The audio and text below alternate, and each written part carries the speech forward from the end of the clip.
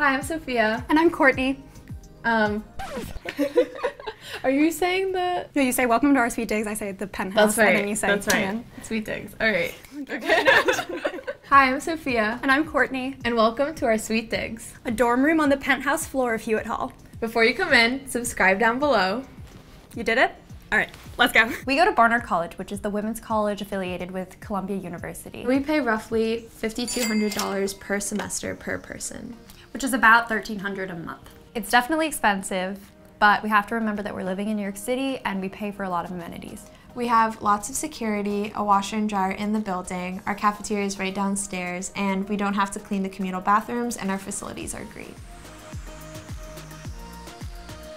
This is my desk where I get ready in the morning. I would describe my home style as minimalistic, but also inspired by the city. I have a lot of different New York City skylines, and my color palette is very black, white, and gray. I purchased this marble contact paper off of Amazon, which has been great. I put it on my desk and on my shelves, and it kind of gets rid of that typical college dorm wooden furniture.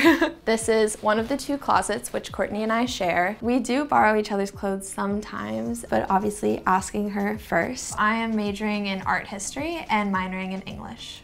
I'm a history major and an environmental science minor. We met online. I put a little advertisement out in the Barnard class of 2021 Facebook page looking for a roommate, and I kind of said a little bit about myself and asked if anyone would be interested in rooming with me, and Sofia messaged me.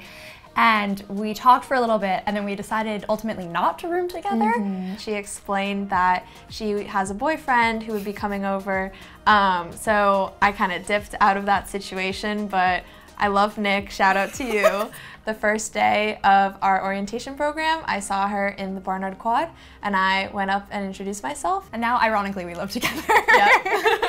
my bed and my photo wall. Trying to get inspired as to how I was going to decorate my dorm room this year, I saw a photo off of Pinterest with a wall with a bunch of little black crosses for super cheap and they were really hard to put up. I measured each one perfectly. And I appreciate how precise the measurements are because I look at them from my side of the room and it's great. And I also have a stuffed octopus named Oswald. Everyone who comes to visit our room always gravitates towards it. When we moved in, I just turned to Sophie and I was like, we should totally get a fish because it's the only pet you're allowed to have on campus. And I was like, you know, why not? We walked down to the pet store and picked up a beautiful betta fish that we named Jeremiah, which For no um, reason. for no particular reason, we just loved the name. He lived above my dresser next to Courtney's bed. Sadly, he did not make it to the second semester, but he did survive all of the first semester. I want to get another fish because we have all the materials and stuff. She, she's not at all. I'm not that. into it. She's done with the fishes. Yeah. This is my bed where I do all my homework. I wanted to buy the headboard for myself, and my parents were like, "That's ridiculous. You do not need that. you are in a college dorm room." But when it was half off at Bed Bath and Beyond, I was like. Gotta get it. It's the thing I get the most compliments on in my room. I think it really pulls it together. And it's great because it keeps my bed from moving around in the bed frame, which is a practical reason, and makes it more homey. I would describe my home style as modern and slightly traditional, like a little bit of a mesh. Whereas I think Sofia, her design is fully modern. I think she features geometric shapes and a lot of neutral colors. I think I add a little bit more color, like my headboard and my lamp and my gallery wall that make it feel more like a home and more permanent than just a dorm room. Sofia and I did not coordinate our designs for the room. When we arrived on the first day, it kind of just all fell into place. We have a very similar color scheme, so it looks really great together. Our biggest splurge is definitely the carpet, which was about $60 and we split it amongst the two of us. It's a scrap from some other carpet that they had there, so it was pretty cheap in terms of the size of it. We didn't measure it out at all. We just kind of showed up um, on move-in day and rolled it out and it fit perfectly. And I have some wall decals, but those weren't planned. They were left over from Halloween decorations, and I just took off all the Halloween stickers. One of the drawers on my dresser does not close anymore because for Halloween she hung up a bunch of fake spider webs um, on my dresser and I think one of them got caught and now it just won't close no matter how hard I try. I'm sorry about that. it's okay.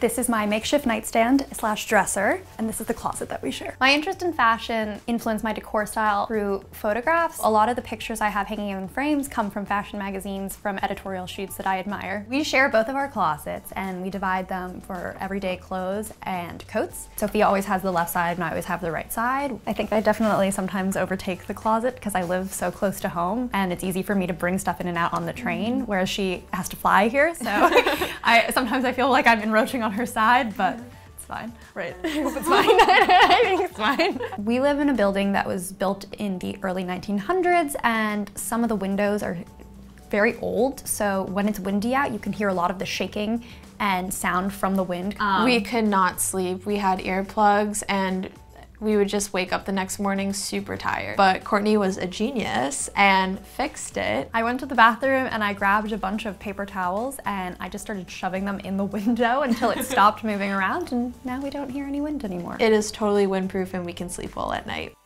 For next year's housing, we just chose it's going to be a suite style living um, in a different dorm um, with four of our other close friends. We're going to be living there for one semester, and then for the spring semester, we're both going abroad to Italy, and we'll probably be roommates there as well. Yes. We haven't talked about what we were going to do after college, but I 100% would be down to live with you. I'd be down to live with you too. What isn't the best part about living with your best friend?